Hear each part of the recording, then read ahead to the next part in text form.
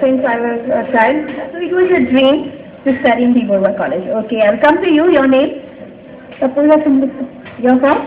I'm from Margherita. You're from Margherita. In Margherita, also in Upper Assam, there are many colleges, but you have chosen to, go, to come to Guwahati and choose the College. Why?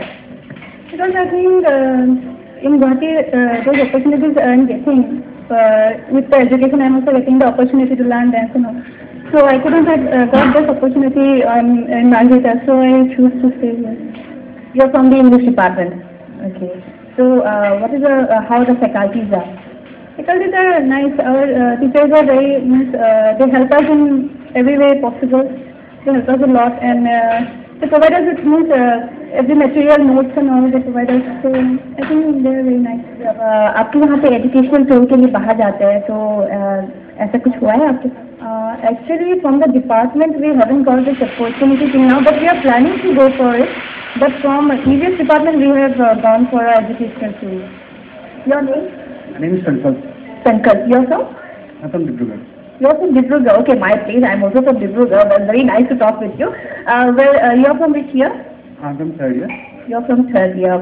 And apart from studying, what is your hobby? Um, actually, uh, I, uh, I like to sing and um, rest. Rest like, any, I have a band and I do um, medal promotions and other stuff.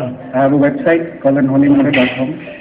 So there we, we, we do interviews, reviews, and of, uh, of all bands throughout the world.